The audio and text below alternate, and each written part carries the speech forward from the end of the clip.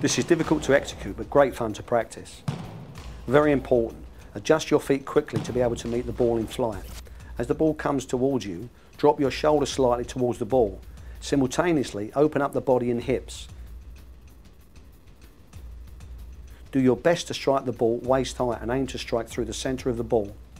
Above all, practice as much as possible and try to find the best way of dealing with different deliveries. Your confidence will grow the more you try different things.